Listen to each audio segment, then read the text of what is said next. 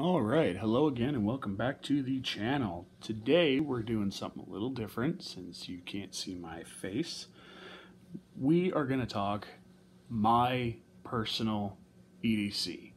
Um, this video was inspired by my buddy Rhodies Plaid on Instagram. If you want to see some of his videos, uh, check out Plaid's channel right here on YouTube or Rhodies Plaid on Instagram. Alrighty, jumping right into it. My personal everyday carry. Now, this is a, there's a lot of opinions with everyday carry. Everyone's got one, and no two opinions really completely jive. So, this is not me telling you what you should carry. This is me telling you what I carry. If you want to share what you carry in the comments, cool. Please don't be rude. Please don't tell anyone they're doing it wrong because you're doing it wrong. There is no right way to do it. We're all wrong. Okay. So, first and foremost, first thing that is on me every single day, no matter where I go, because I'm a millennial. My phone. It's a phone, guys. It call for help, text your wife, call mom, you know, do whatever. Next, timepiece. Your phone isn't always going to work. It dies. I use, right now, I'm wearing a Seiko.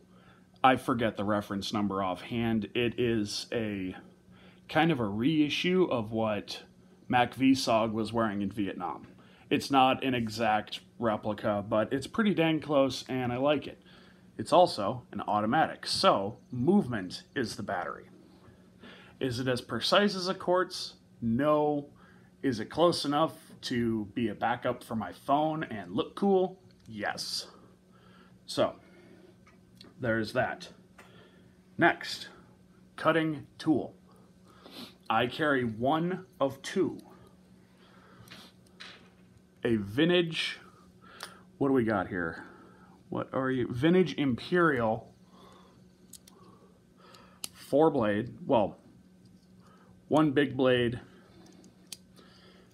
You got a can opener, your bottle opener, sorry, trying to keep it in frame there, your classic just jackknife and a big old strip of rawhide for a lanyard.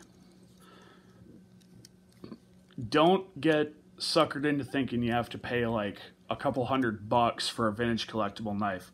This cost me $25 on Etsy. You just got to look around. The knife I carry far more often is this Gerber Paraframe 1 that was like $16 at Walmart. So, I don't think that Gerber is like in some way superior. I'm not a Gerber fanboy.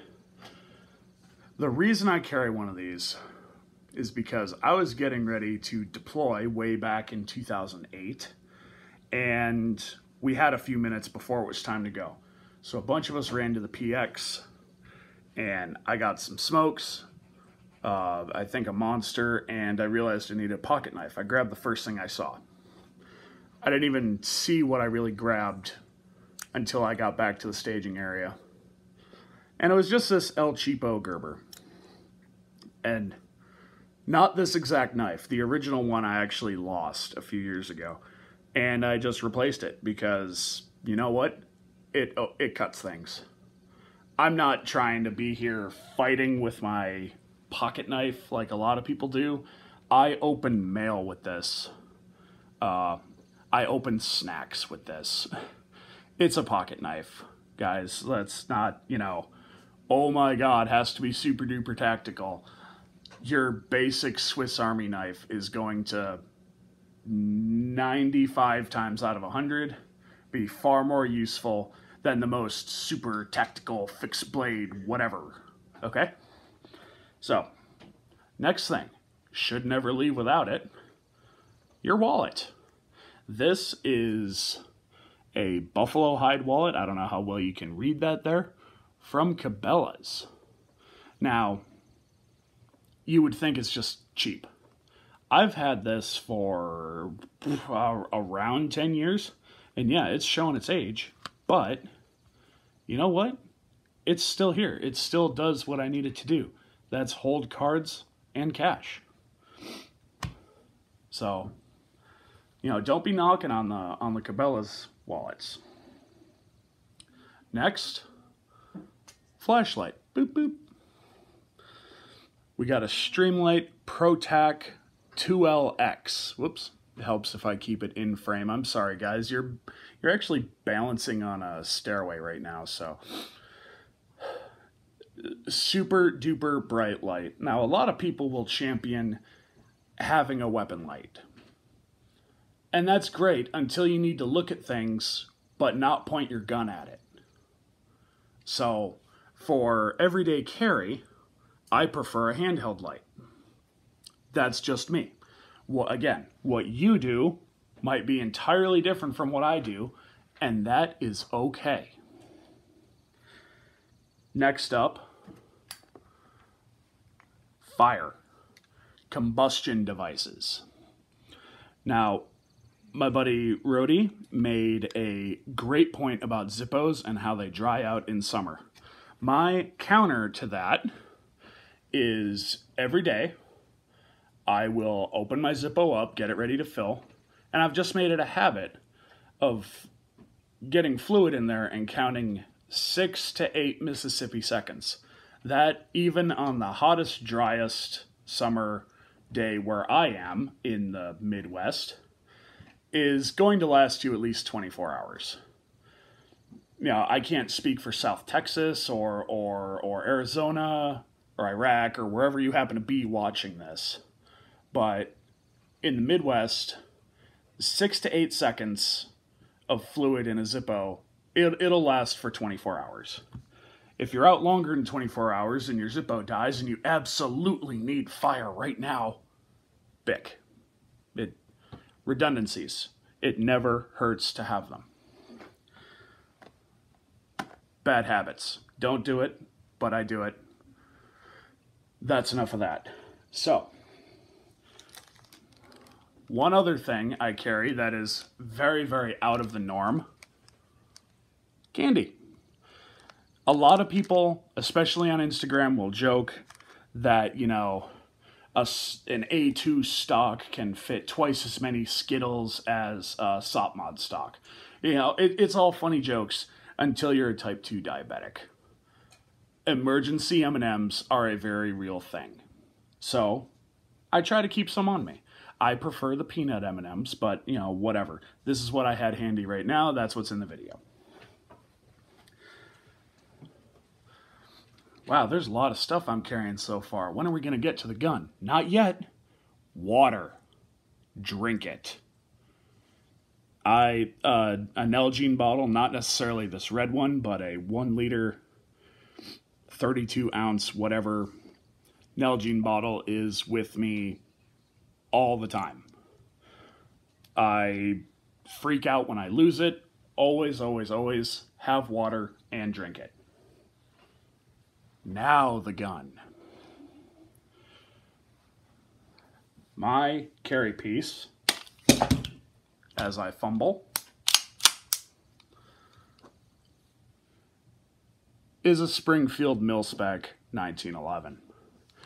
Are there better guns? There are objectively better guns to carry than this. But you know what? I like this, and that's why I carry it. I could do a whole video on why and 45 versus 9, but I'm not going to because it's not going to change anyone's opinion. Carry a gun you're comfortable with. I am the most comfortable with a 1911. I shoot a Glock the best, but I like this the best. Now that said, pretty soon here I'm going to have some leather coming in from Milt Sparks for a high power. So things might get changed up a little bit. on that note, what am I carrying that in? Right now, this time of year, a Milt Sparks Summer Special 2. This is a nice little inside the waistband holster. And for the 1911, as well as select models of Glock, they are kept in stock, so you don't have to wait however long their current lead time is to get one of these. Ammo is in Chip McCormick magazines. For the longest time, I championed Wilson Combat magazines. I have found that I like these Chip McCormicks better. Uh, right now, I've got a mix of, I think, Speer Gold Dot and Federal HST. This ammo's old and needs to get replaced. Um, I have found recently that um, SIG V Crown is in stock, and I've read good things about it. So I'm probably going to switch over to that just so I have some newer carry ammo. Um, does it matter? Probably not. You know, oh, it only penetrated this far in ballistic gel. It must be useless. That's not how this works. So, just don't carry full metal jacket unless it's like the apocalypse and you literally don't have anything else. That that's really the big takeaway here. And those magazines ride in the Milt Sparks S4C magazine carriers. They're an outside the waistband, one-way snap. I've got two of them. I just only felt like taking one off. And alternately for winter, because I am a firm believer in outside the waistband carry uh, whenever I can, a Milt Sparks 55BN, which stands for Bruce Nelson, the original designer of this style of holster. Outside the waistband, very, very comfy. Metal reinforced mouth on both of these, actually. I don't know what me squeezing them does for you, but you know, it makes me feel better about the video. And that is it. This is the stuff I keep on me all the time. We are going to continue this almost like a series. Next would be uh, like a day pack kind of set up what I keep in my day pack if I'm going to be gone literally all day. Um, we will get to that when we get to it. I've got some ideas going for that, you know, rounding things up, blah, blah, blah. But this is what I've got for my everyday carry. I'd really, I'd, I'd like to hear what you guys carry every day. Put it down in the comments. I'm not going to try to change your mind. Don't try to change my mind. I just think it's kind of cool to discuss what we carry as individual and what leads us to these choices. Now, one thing that you might notice, there is no tourniquet here. In fact, there's no medical at all here unless you want to count the M&Ms as medical. and that is because I don't wear cargo shorts all the time. I don't wear car cargo pants all the time, and I cannot comfortably carry medical. Now,